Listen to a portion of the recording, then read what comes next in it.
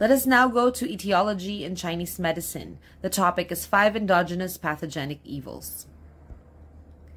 In CM, the six climatic pathogenic factors wind, cold, heat, dampness, dryness, and fire are external disease causing agents.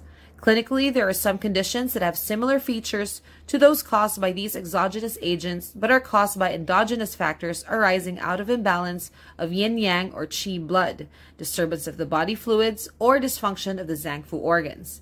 To distinguish these factors from the climatic pathogenic evils, CM terms the endogenous wind, endogenous cold, endogenous dampness, endogenous dryness, and endogenous fire.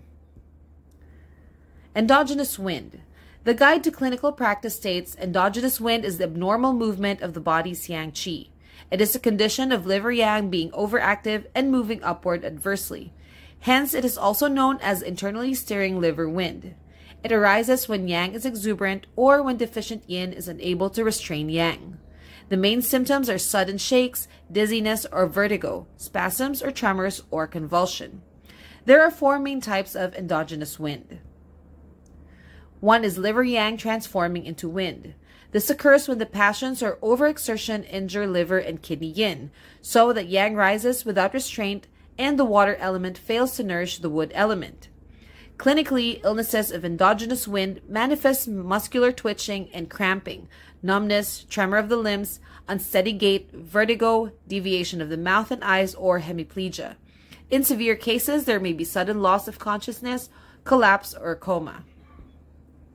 Next is extreme heat generating wind. Strong exogenous heat damages yin fluids and nutritive blood. This causes the liver meridian to lose their nourishment and moisture and disrupts the mobility of the joints and muscles. The damaged yin permits liver yang to rise without restraint and transform into wind. Clinically, there are two groups of symptoms. Those due to wind are convulsion, spasm, nasal flaring, and rolling up of the eyes. Those due to heat disturbing the mind are high fever, delirium, and coma. Next is yin deficiency stirring wind. Yin fluids may be damaged rapidly by blazing heat or imperceptibly over a long period.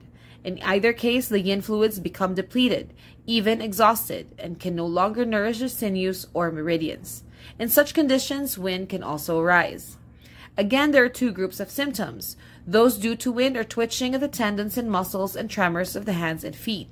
Those due to yin deficiency are rampant fever, hotness in the five centers, emaciation, night sweats, a tender and red tongue with a thin coating, and a thread-like rapid but forceless pulse. Next is blood deficiency generating wind. This condition occurs mostly in situations of inadequate blood formation, heavy loss of blood, or chronic illnesses wearing out nutritive blood. In any case, liver blood becomes insufficient and fails to nourish the sinews. Clinically, there are symptoms of wind such as numbness of the limbs or trunk, twitching of the muscles, or spasms in severe cases. There are symptoms of blood deficiency such as pale and lusterless complexion, lips and nails, dizziness, blurred vision, a pale tongue, and a thread-like and feeble pulse.